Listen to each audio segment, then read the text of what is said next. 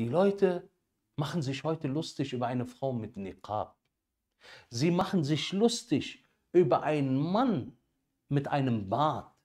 Sie machen sich lustig über den Mann, wenn er sein Gewand kürzt über den Knöchel.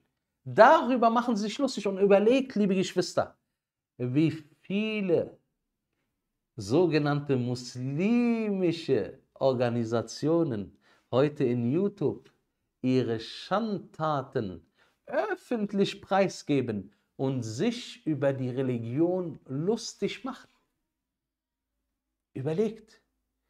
Und die vielen Juhal, die Unwissenden, unter denjenigen, die behaupten, Muslime zu sein, gucken sich sowas Tag ein, Tag aus an.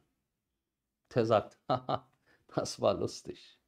Und er weiß gar nicht, dass diese Verbrecher, diese Übelstuenden, die von den Yahud finanziert werden, sei es von, wie heißen die? Nicht RBB, Funk, die von Funk finanziert werden, die den Islam wirklich abgrundtief fassen. Dieses Funkunternehmen ist bekannt. Von den Zionisten unterstützt werden. So sind sie zufrieden damit und freuen sich, erfreuen sich an etwas Popularität. Morgen ist ihr Ausgang bei Allah Azza wa Überlegt nur, wenn ein Unternehmen der Zionisten dich finanziert. Was kann gut sein an deinem Islam? Was kann gut sein an deinem Islam?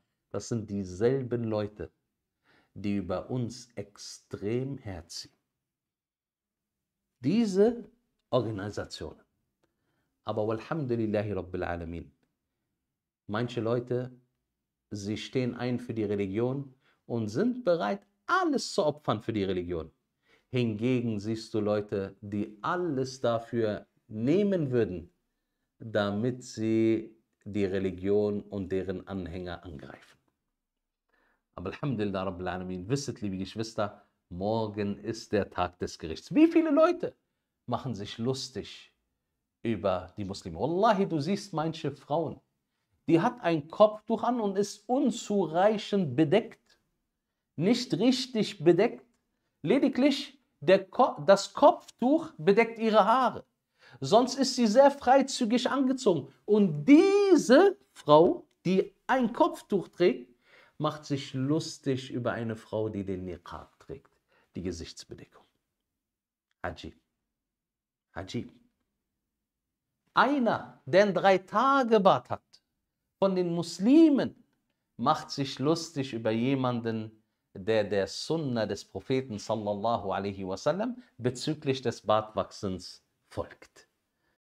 Es gab Gelehrte, die sogar gesagt haben, um in dieser Angelegenheit Zeichen zu setzen, wer sich nur über den Siwak lustig macht, das ist der Zahnstock, mit dem man seine Zähne säubert, wer sich darüber lustig macht, weil dieser zur Sunna gehört, ist ein Käfer geworden.